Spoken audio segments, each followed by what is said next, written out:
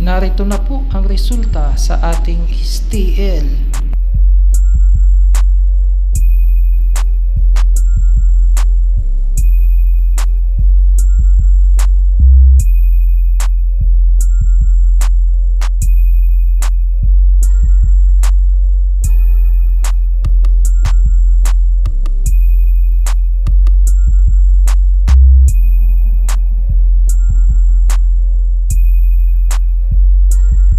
STL Pangasinan